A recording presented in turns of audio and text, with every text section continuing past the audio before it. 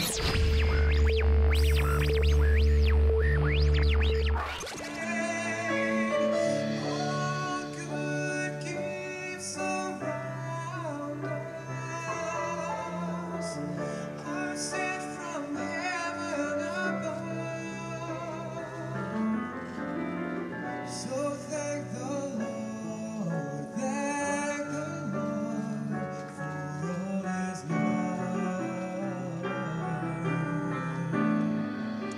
So I think everybody's sick of looking at me at this point, so we're going to see what some of the rest of the production crew get up to.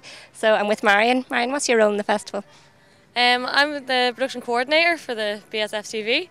So um, I'm basically kind of rounding up uh, interviewees, making sure that everyone, everything goes kind of smoothly for the live show, having the running order ready, you know, a couple of days before, making sure we've all the acts and usually during the live show running around trying to drag bands off stage and bands from pubs and trying to get everyone on to make sure that there's no you know slot in the live show where no one's turning up. So it's been good. It's been really interesting so far.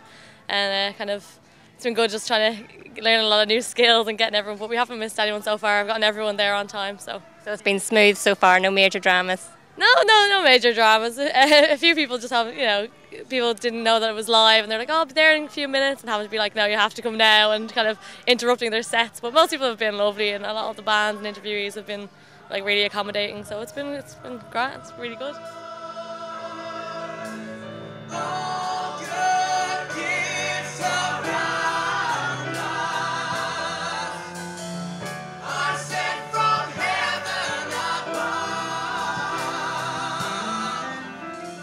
So, Alan, what's your role with BSF TV? Um, I'm the floor manager of the actual live show, and uh, I coordinate the scripts and the running order of what's on, what's going to be coming up in the show with the rest of the crew. Make sure everybody is on the same page.